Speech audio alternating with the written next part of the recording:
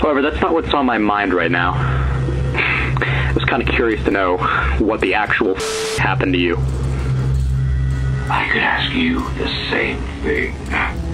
Truth be told, Michael, you and only you are the reason for all of this. And just for that, surely you must realize that you're not getting out of this alive.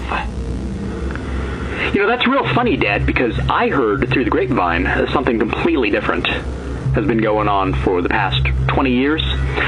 So let me do you a favor and refresh your memory. Now, this may come as a shock to you, but I got out early. Uh, in 95, I was released, and I had just one thing on my mind. And that was scouring the earth looking for you. Now, my first stop was Henry's, but I found out that he was dead.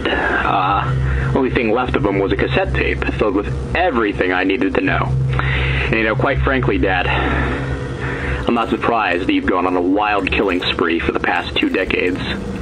Although I've got to say, it looks like I found myself at the right place at the wrong time.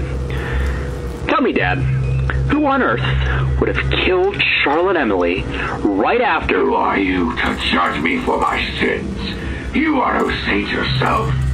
None of this would have happened if you hadn't slaughtered. Who, Norman? The son you had every intention